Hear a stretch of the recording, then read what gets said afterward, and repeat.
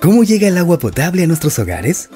Tres cuartas partes de nuestro planeta están compuestos por agua, pero no toda esta agua es apta para nuestro consumo y el acceso a ella, en muchos casos, es muy difícil.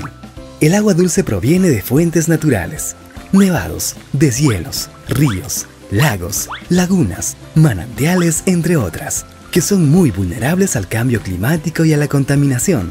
El agua dulce que proviene de fuentes superficiales, por lo general no es apta para el consumo humano, porque contiene partículas mineralizadas, desechos químicos, bacterias y otras impurezas contaminantes que pueden ocasionar severos daños a nuestra salud.